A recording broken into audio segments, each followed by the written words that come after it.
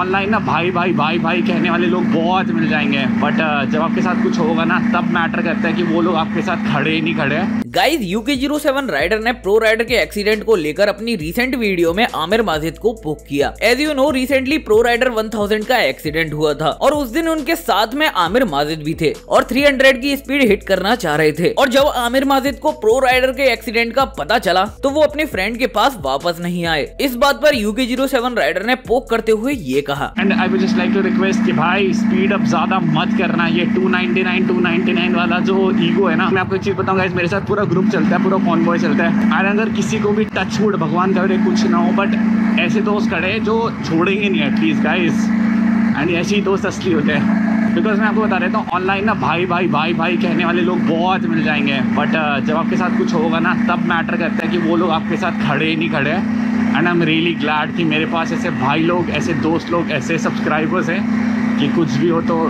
they will take care of me